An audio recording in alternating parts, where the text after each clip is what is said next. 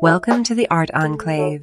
Today, we delve into the vibrant and revolutionary world of Hélio Oiticica, a Brazilian artist whose innovative work transformed the landscape of contemporary art.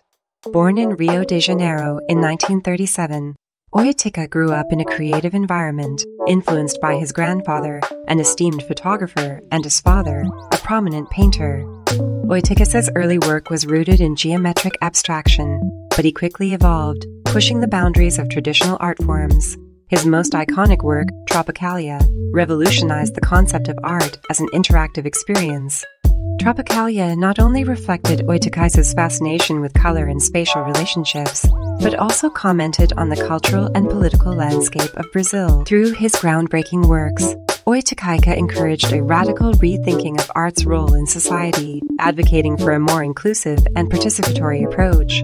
Welcome to the Art Enclave, where imagination